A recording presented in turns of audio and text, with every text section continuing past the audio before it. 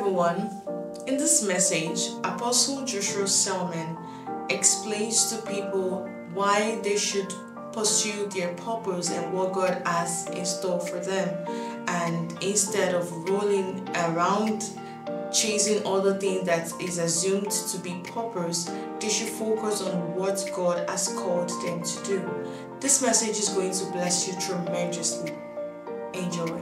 Behold, I like that statement. When he now says, remember ye not the former things. Now that he's brought you to a point where you've been detached to yesterday, its success, the crowns and the pains, the failures all together. He now says, behold. The word behold is a very powerful word. Behold means see with the eyes of your spirit. Behold means conceive as a reality what I want to tell you. Behold means let me have your rapt attention. Now that you have been distracted away from the mundanity of yesterday, behold, let me have your attention. You want to understand what behold means? You have to read the book of Acts that Peter and John were on their way to gate Beautiful at the hour of prayer. The Bible says they saw a man who had who was seated there for a long time, lame. And the man was begging for alms. Let me show you what behold means. And Peter said, look on us. Let me have your attention. And the Bible says, Peter fastening his eyes on him said, look on us verse 5 now and he gave heed that's what it means to behold. He gave heed to them expecting to receive. He gave heed to them expecting to receive to receive an instruction to receive a blueprint to receive a pathway. When he says behold it means i need your attention spirit soul and body. I'm about to deliver something to you that your destiny depends on. Behold this is a prophetic word. There are many ways God tells us to behold. He will start showing you a certain dream within a certain season. It is him saying, behold, let me have your attention. You've been too distracted. But right now there is something that your ministry needs to do. There is something, there is a formula coming from heaven that spells your dominion for the next 10 years. Behold. Behold, God is speaking to someone. Behold, the next 10 years will not be like the last 10 years. Behold, have you received the prophetic blueprint for business? Have you received the prophetic blueprint for ministry? Have you received the prophetic blueprint for politics? Have you received the prophetic blueprint for that which God is doing in your family? Behold.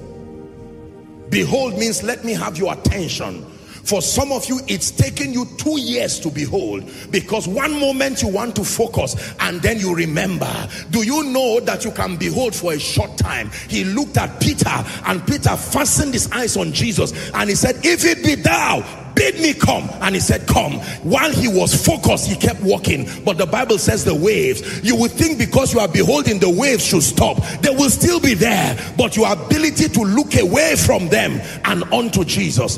The waves and the vicissitudes of life have distracted people such that they stop beholding.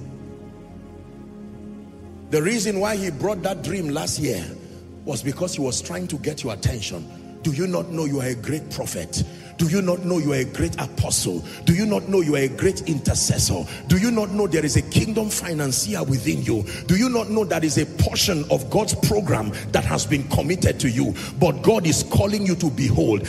Do not play with this word. It takes a long time for God to get men's attention. Go and read your Bible. There are few men who God got their attention in a moment. For instance, you know how long it took God to negotiate with Abraham until he believed God finally?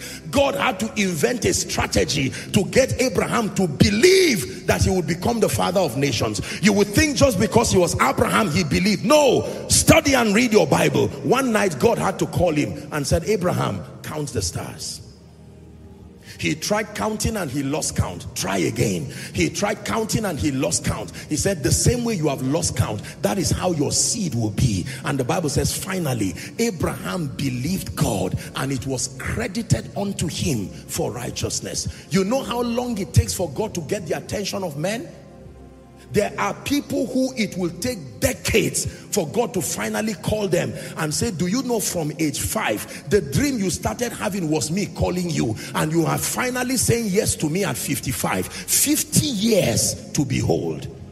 So don't you play with this word. When he says behold, he's not just saying use your optical eyes. It takes a level of focus that only God can give to look away from situations and circumstances and to behold. But there is a miracle in beholding. One of the miracles is that as we behold him, we are changed. Hmm. As we behold him, we are changed. Please listen. Listen, let your heart be open to understand what I'm teaching you tonight. The challenge with many people and the reason why it looks like God is not doing so much with you is because you have not mastered the art of beholding. Beholding can take a long time. Beholding can take a long time. Do you realize, ladies and gentlemen, that all that happened to the disciples for three and a half years was their ministry of beholding. They were beholding as they were being changed. Lecture after lecture. Beholding does not just mean see. Sometimes beholding can mean stop what you are doing now for the next five years. That is the price of beholding. Sometimes beholding can mean relocate to another city and remain there until I come to you. Beholding has a serious implication. It can mean suspend what you are doing for now, no matter how productive it is. There are few people who can behold. Hmm. Is someone learning? Behold can means can mean that God can give you a, an instruction and say instead of giving 10% or 20% of all your earnings for the next one year, for you it is 80% every there is something I want to teach you that will evolve you into the financial apostle that I'm programming you to become. Beholding is not just your ears. Beholding is not just your eyes. Beholding is your heart and your life. And because the Spirit of God does not struggle with man indefinitely, you have a choice to be so distracted that you distract his presence away from your life. He will respect you. He will honor you. But the danger is that you will be losing relevance through a season that is coming. Hallelujah. There are many sermons that have come out from beholding more than studying. There are many songs that have come from beholding more than studying. There are many mantles that have rested upon people. What was the price to carry Elijah's mantle? If you can see me, not if you can talk. You become a talkative while I'm rising, you will remain there. And the prophets, the sons of the prophets were talkatives, but they did not know how to behold. Here was a man who said, I need something a double portion. He said, ah, my dear son, you have asked a hard thing, but if you can see me, was he not looking at him?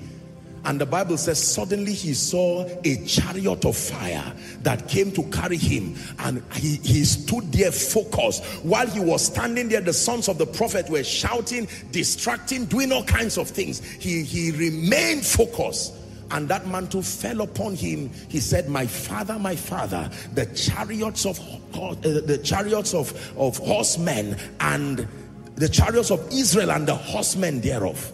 And that mantle fell upon him. He carried it and went to the jordan. And he said where is the lord god of elijah? And he he, he struck the the mantle. And the jordan parted hither and thither Proximity does not necessarily mean you are beholding. How many of you know that there are people who can be so worried, their position is to look at you. Someone can literally be looking at you like this, and that is a sign that he has left you. Because he's so distracted. He's just thinking, this fuel now, this issue now. And yet the person is looking at you. And you will think that the person is looking at you, it means that he's giving you the attention and the person is thinking of something far away from church. Behold. Ah, very powerful word. So remember ye not the former things, nor consider the things of old. Next instruction, behold. Behold. See. Dedicate your life and your destiny. Be prepared to receive be prepared to understand. Be prepared to be engaged prophetically